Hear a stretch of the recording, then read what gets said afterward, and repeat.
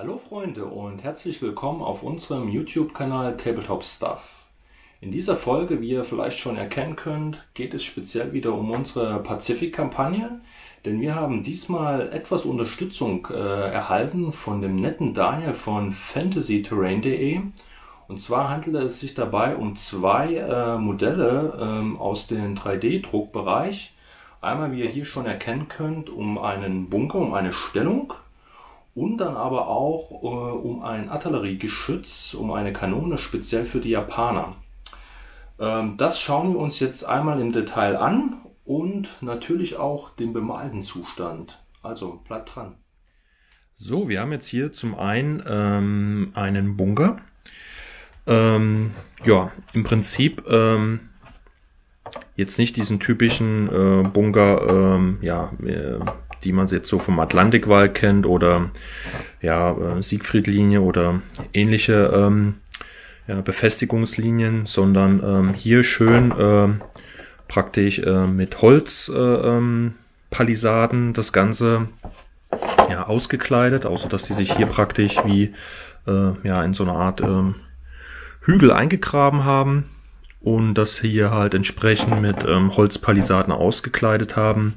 Äh, man hat hier äh, mehrere ähm, Sichtbereiche, Sichtlückenfenster äh, gelassen in dem äh, 3D-Druck und ähm, hat jetzt hier oben auch äh, sehr passgenaue ähm, ja, Verbindungselemente, wo man ähm, ganz einfach jetzt hier ähm, das Dach auch draufsetzen kann. Das ist wirklich passgenau. Da ähm, ist nichts zu wenig und nichts zu viel.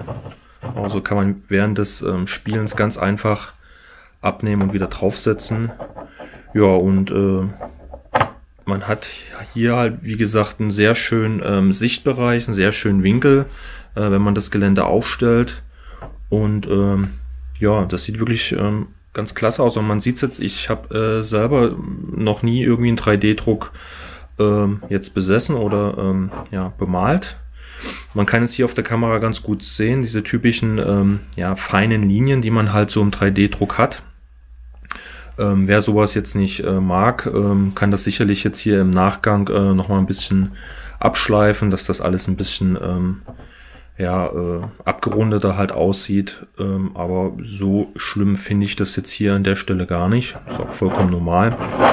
Und ähm, ja, ich finde es halt wirklich ein schönes Geländestück. Auch hier hinten habt ihr praktisch nochmal ähm, den Eingangsbereich, wo, was man auch ganz locker ähm, jetzt hier erweitern könnte, äh, wenn man jetzt hier so ein Grabensystem hat, ähm, um das jetzt hier ähm, dann mit einzulassen. Ähm, ja, finde ich ganz klasse. Auch äh, diese Grundplatte hier, wo das draufsteht und halt hier oben auf dem Dach auch nochmal ähm, ja, diese ähm, äh, Erde, die man jetzt hier praktisch äh, symbolisiert. Ähm, eigentlich ganz schön gemacht. Hier seht ihr nochmal die Unterseite. Und äh, was ich äh, besonders gut finde, ist, der Platz jetzt hier drin äh, in dem Bunker, ähm, da passt wunderschön ähm, so eine 60 mm Base rein. Man hat immer noch ein bisschen Luft an der Seite. Ja, und da kann man halt hier wunderschön jetzt ein Geschütz reinpacken oder äh, MG-Stellung, was man halt typischerweise jetzt hier auf so eine 60 mm äh, Base platziert.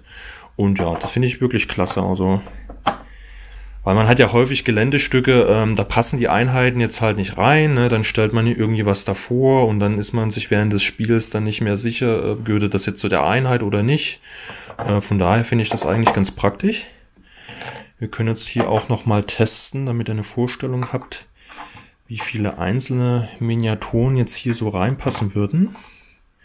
Nehmen jetzt hier mal exemplarisch ein Offizier mit ein paar seiner Getreuen. Ne? Also man bekommt jetzt hier mit Base halt vier Leute locker rein. Ne? So gut und den Rest, äh, wenn man jetzt sagt, hier ist, ist Einheit XY drin, die platziert man halt hinten. Ne? Aber schon alleine, dass man jetzt hier so ein Waffenteam ähm, oder ähm, Geschütz jetzt hier platzieren kann, ähm, das finde ich schon wirklich äh, echt klasse. Das ist echt gut bedacht. Ja, also von der Proportion her ist das auch äh, absolut 28 Millimeter. Das äh, würde ich definitiv unterschreiben. Ähm, ja, das ist wirklich klasse. Also sehr schönes Modell. Ähm, Ich bin mir nicht sicher, ob ich das ähm, Geländestück bemalen äh, werde oder Christian. Ich glaube, Christian hatte sich da schon mal angemeldet. Der wird das ähm, höchstwahrscheinlich dann bemalen. Und ähm, ich werde das äh, nächste Geländestück, beziehungsweise ähm, die nächste Einheit, die wir äh, von Fantasy Terrain bekommen haben, einmal zeigen. So, das ist eine Tüte vollgepackt mit tollen Sachen. Und zwar ist das eine japanische 75 mm Flak vom Typ 88, also eine äh, Flugabwehrkanone der Japaner, die sie damals eingesetzt haben. Äh, und zwar waren die eigentlich mehr auf äh, Schiffen verbaut und ähm, auch auf ähm, diversen ähm, ja, ähm, Marine-Stützpunkt äh, und ähnlichem. Und im späteren Kriegsverlauf äh, wurden die halt immer mehr auch verwendet. Das ist ähm, eine Kanone, die auch schon etwas ähm, früher ähm, gebaut und konzipiert wurde. Das war, glaube ich, schon äh, 1914 rum, äh, wenn ich mich recht erinnere. Und äh, ja, das ist eine, eine schöne Erweiterung. Also so ein ähm, äh, Modell gibt es jetzt direkt von Warlord Games oder von einer anderen großen ähm, ähm, Minischmiede äh, im äh, WW2-Bereich jetzt nicht, äh, meines Wissens nach. Von daher ist das äh, eine echt gute Ergänzung. Man hat hier jetzt schon mal äh, ja eine riesige Base. Äh, ich weiß jetzt gerade gar nicht, wie groß die ist, aber äh, riesig. Müsste ich gleich nochmal abmessen, weiß ich jetzt gerade nicht. Und äh, ja, einen ganzen Haufen an äh, Miniaturen, die natürlich jetzt alle noch ähm, in diesen typischen ähm, 3D-Drucker-Konstrukt äh, ähm, ja, hängen. die muss man natürlich erstmal alle ähm, lösen. Oh, jetzt muss ich mal gucken, dass es ein bisschen scharf wird. Ja, ähm, das ähm, ist klar. Ähm, normalerweise, äh, meines Wissens nach, müssten vier oder fünf äh, Miniaturen zur Verfügung stehen. Äh, gucken wir mal, das sind 1, 2, 3, 4, 5 tatsächlich. Ne? Also vier Mann Besatzung und dann könnte man noch einen Spotter äh, nehmen. Und der Rest davon müsste dann auch die Kanone sein. Ja, hier hat man schon mal den Lauf oder einen Teil vom Lauf. Und hier im Prinzip die Arretierung von dem Ganzen. Ja, die sind jetzt natürlich hier in diesem, in diesem Gerüst noch drin. Das müsste man natürlich jetzt alles noch äh, entfernen. Ich habe damit so noch gar keine Erfahrung. Ähm, auch was das Bemalen jetzt von so 3D ähm, Drucken anbelangt, weil es sind ja, glaube unterschiedliche ähm, Resine, die man da äh, verwendet. Unterschiedliches Material. Aber ähm, ja, ich bin mal gespannt. Auf jeden Fall hat das äh, Modell hier auch ähm, eine Menge Details. Hier hat man jetzt einzelne ähm, Geschosse. Ja, das kann man natürlich hier wunderschön auch auf dieser großen Base ähm, dann verteilen. Ja, man hat hier auch noch ähm, ja, Munitionskisten. Hier, wie gesagt, sind ähm, äh, Gewehre mit dabei. Hier hat man ähm, nur noch die Hülsen, verschossene Granaten. Und hier ist auch noch mal was. Also die Kanone sieht so ein bisschen äh, aus, wenn die fertig ist, äh, wie die 88er der Deutschen, halt nur ohne Kanonenschild. Hat ja ungefähr ein ähnliches Kaliber. Ja, und die Miniaturen, die sind möglich auch. Ähm, gucken wir mal, ist es scharf bekommen. Hm, ja, da. Ähm, das ist jetzt hier der ähm, Soldat, der wahrscheinlich ähm, das Ganze bedient. Dann hat man hier einen äh, Loader, der hier gerade die Granate zuführt. Also vom Guss her wirklich äh, top. Ich würde das jetzt so ein bisschen einschätzen, äh, wie bei Rubicon ungefähr, so True Scale wird das sein. Also wirklich ähm, sehr schöner 3D-Druck. Dann nochmal einen Soldaten auch nochmal, der zuführt. Details wird man natürlich dann nochmal ein bisschen genauer sehen, wenn ähm, ich das Ganze bemale. Also das werde ich dann definitiv bemalen. Das ist klar. Hier haben wir auch nochmal einen, der... Ach so, das sind die praktisch zwei Soldaten jeweils, die ähm, das Ganze bedienen. Und die restlichen führen nach, beziehungsweise... Das muss ich mal eben gucken. Das wird der Spotter sein hier. Genau. Das ist der Spotter. Sieht man gerade ein bisschen schlecht, weil das Konstrukt hier so davor hängt. So einen typischen ähm, Tropen, äh, ähm, so ein Tropenhütchen auf, sage ich jetzt mal. Also hier gegen Moskitos so ein bisschen. Was jetzt gerade nicht, ähm, wie man das nennt. Und ähm, ein äh, Fernglas und hebt so ein bisschen die Hand. Das ist dann der Spotter. Also wirklich ähm, so, was ich erstmal sehe. Ein sehr schöner Druck. Ich werde euch das jetzt, wie gesagt, ähm, einmal ähm, zusammenbauen. Das dürfte jetzt nicht sonderlich schwierig sein. Und vor allen Dingen das Ganze bemalen. Und dann zeige ich euch das nochmal im Summe. Ähm, der Bunker beziehungsweise die Bemalung von dem Bunker, das wird höchstwahrscheinlich in einem separaten Video erfolgen äh, von Christian. Ich wollte euch den jetzt nur schon mal vorstellen. Und ja, dann äh, würde ich mich melden, wenn ich damit fertig bin. Aber natürlich noch in diesem Video. Jetzt kann ich euch das Modell im bemalten Zustand einmal präsentieren. Ähm, die Anti-Aircraft Gun vom Typ 88 75 mm ähm, für die Japaner kostet in der Aufstellung äh, 96 Punkte, wenn ihr sie unerfahren haben möchtet, 120 Punkte als reguläre Einheit oder aber auch ähm, als Veteran für 144 Punkte altgedient.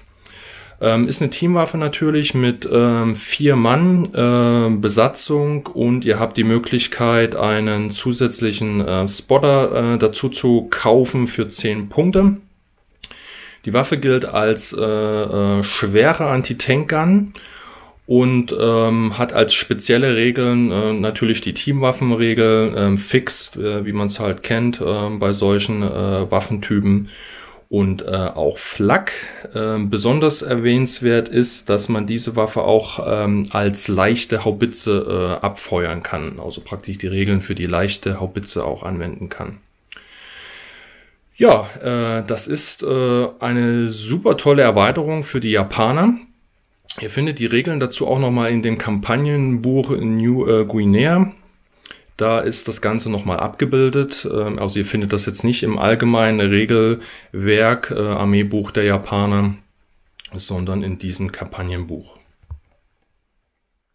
Hier auch nochmal im Detail die einzelnen Elemente ähm, zu dem Modell. Wir haben hier, und das finde ich halt besonders schön, nochmal ein paar zusätzliche Gimmicks, ähm, die dabei sind. Und zwar zum Beispiel diese Waffenpyramide, also die zusammengestellten Gewehre, die die Soldaten natürlich nicht einfach nur irgendwie lose neben, das, äh, neben die Kanone ablegen, sondern ähm, dann halt ähm, so, dass sie dann auch jederzeit ähm, die Gewehre aufnehmen können. Das finde ich toll gemacht. Das habe ich extra auf eine separate Base geklebt. Die war jetzt nicht mit dabei.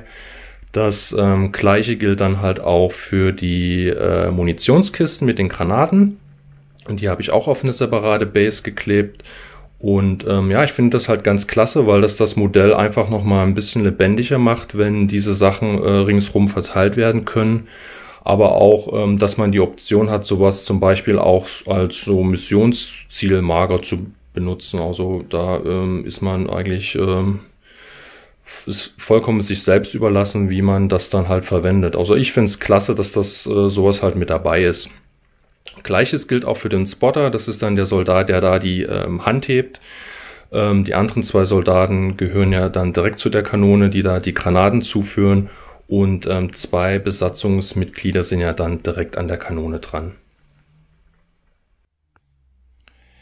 Im direkten Vergleich ähm, habe ich euch jetzt nochmal die 88er der Deutschen daneben gesetzt, die ich bereits habe.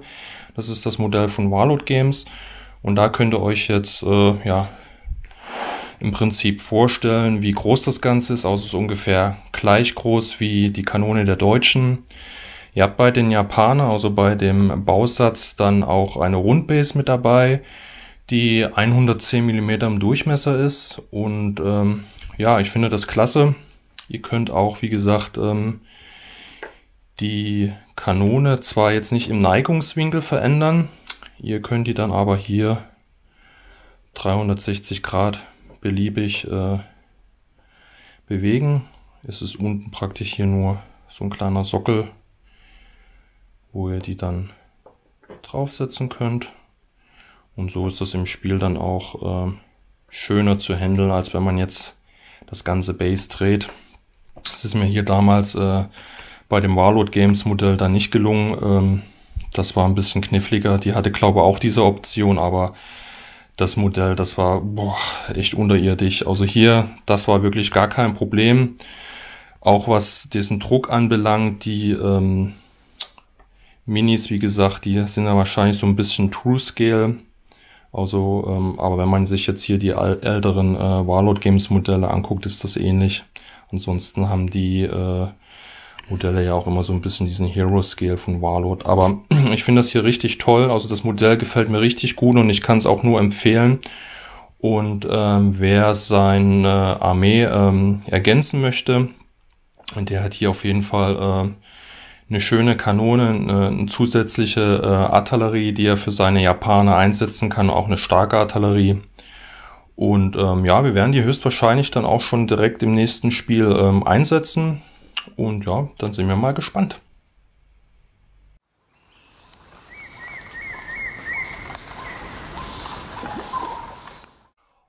Jetzt habt ihr mal diese zwei Modelle gesehen. Ähm, den Bunker, wie gesagt, den wird ähm, Christian dann noch fertig machen. Den wird er nochmal äh, schön bemalen und ähm, wenn das Modell dann soweit fertig ist, werden wir euch das dann nochmal zeigen. Und wenn Christian jetzt noch irgendwie was auffällt, was dann jetzt speziell zu dem Modell erwähnenswert ist, wird er das natürlich dann auch nochmal ansprechen. Ich äh, im Besonderen fand jetzt die Kanone wirklich stark. Also mir hat das Modell sehr gut gefallen.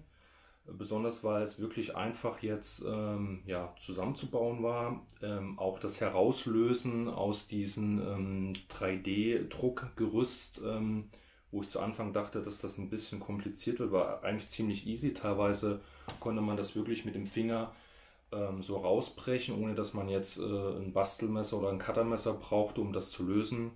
Es gab nur ähm, eine knifflige Stelle praktisch an der Sitzfläche, wo die einzelnen äh, Soldaten jetzt hier Platz nehmen, um die Kanone zu bedienen. Ähm, weil die, äh, diese Sitze selber ja auch nur an praktisch einen ganz dünnen Gestänge äh, hängen und dann ringsrum dieses äh, 3D-Konstrukt äh, äh, ist, da war es ein bisschen schwieriger, das zu lösen. Also es bestand praktisch die Gefahr, dass man das hätte abbrechen können. Da muss man an der Stelle ein bisschen vorsichtig sein. Ansonsten, wie gesagt, kann man schon fast mit dem Finger die einzelnen Sachen äh, lösen. Äh, ja, mh, mm, wie gesagt, ähm, wenn man das jetzt auch direkt vergleicht mit so einem ähm, Guss, äh, wenn man nur alleine die Miniaturen betrachtet, ist wirklich super, also vom Detailgrad her auch, was ich sehr erstaunlich finde. Und äh, ja, auch das Bemalen an sich, ähm, ich weiß jetzt nicht, ob es dann jetzt verschiedene Arten von Resin gibt, mit denen man halt ähm, diesen 3D-Druck erzeugt. Da gibt es wahrscheinlich auch Qualitätsunterschiede. Ähm, also diese Qualität war auf jeden Fall ähm, super. Also das Bemalen an sich, ich habe da jetzt keinen Unterschied gemerkt, dass jetzt irgendwie dass es Probleme gab beim Bemalen, dass die Farbe irgendwie nicht äh, richtig angenommen wurde oder ähnliches. Da habe ich auch null, null Probleme gehabt. Und wie gesagt, besonders gut gefällt mir halt auch an dem Modell die ganzen kleinen Gimmicks, ne? diese Patronen, äh, Granathülsen, die man hat, also die verschossenen, dann ähm, noch zusätzliche Granaten, den, äh, den, den, die Waffenpyramide und halt auch die äh, Waffenkisten, die Munitionskisten. Und äh, ja, das ist echt ein, echt ein klasse Modell und ich freue mich, das dann halt auch schon einzusetzen. Und ich möchte nur an der Stelle äh, mich nochmal herzlich oder wir möchten uns nochmal herzlich bedanken äh, bei fantasyterrain.de beziehungsweise bei Daniel vom Fantasy Terrain, der uns das zur Verfügung gestellt hat. Und ähm, wenn ihr auch Interesse an diesen äh, Modellen äh, habt, dann könnt ihr da gerne auf jeden Fall vorbeischauen. Ähm, ich werde das entsprechend verlinken in dem Video. Das ähm, ist da auch nicht das einzige Modell. Es gibt jetzt, glaube ich, von den Japanern auch eine etwas größere Range. Ich glaube, dann gibt es noch einzelne Miniaturen, bin ich der Meinung. Also ich habe da Veteranen gesehen, ich habe auch äh, äh, Flammenwerfer gesehen. Es gibt, glaube ich, auch ähm, Häuser und ähm, allgemein bietet ähm, der Shop auch alles Mögliche an äh, 3D-Drucken auch an. Also gerade im Geländebereich ist, wird da sehr, sehr viel angeboten. Ähm, auch jetzt abseits vom historischen äh, Fantasy, Sci-Fi ist da wirklich eine Menge ähm, Stuff und ähm, ja, schaut euch da mal um. Und ähm, ja, dann würde ich sagen, wir sehen uns im nächsten Video. Bis dahin.